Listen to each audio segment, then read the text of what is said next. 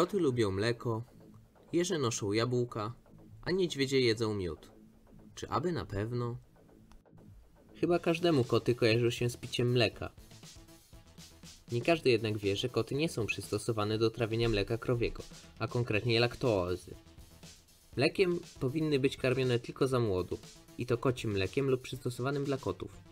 Jednak potrafią się przyzwyczaić i do krowiego, jeśli są tak karmione od młodu, to nie powinno im to zaszkodzić. Inna sprawa z jeżami. Często są przedstawiane z jabłkiem na kolcach. To, że jeże nie noszą i nie jedzą jabłek, wie raczej większość ludzi. Ale skąd się to wzięło? Jeża z jabłkiem przedstawił w swoim dziele Historia Naturalna Piliniusz Starszy, żyjący na przełomie I wieku przed naszą erą i I wieku naszej ery. I tak zostało do dziś. Tak naprawdę jeże żywią się owadami, ślimakami, żdżownicami, małymi płazami i gadami oraz drobnymi ssakami. Pozostaje jeszcze jedna kwestia. Czy niedźwiedzie jedzą miód? Tak, jedzą. Jednak wraz z miodem szukają larw małych owadów. Możliwe, że kiedyś jadły tylko larwy.